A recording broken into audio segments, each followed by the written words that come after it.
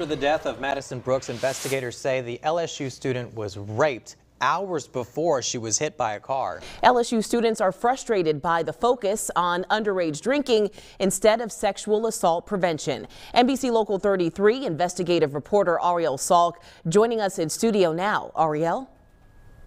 Renee Jacob, this has sparked a conversation on campus about consent because investigators revealed Madison Brooks was not or possibly was not able to give consent when she was allegedly assaulted.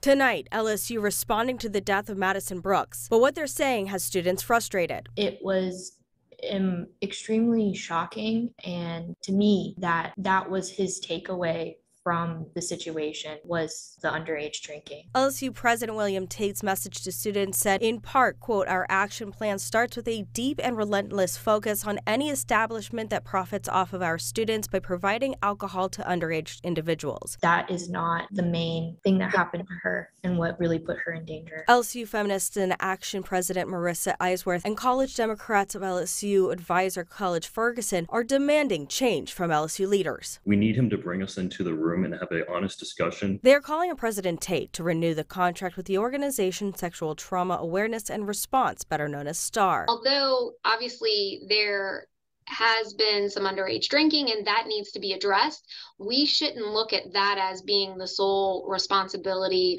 or the sole cause of what happened. Although LSU provides sexual assault prevention training, the president of STAR says many students might trust an outside source. When you have everything housed inside and there's already been a lack of trust um, and there's some institutional betrayal, even if the training they are providing is good, they're going to be met with just some suspicion. Now, the interim vice president of LSU says coming down on bars that serve minors is just one proposal.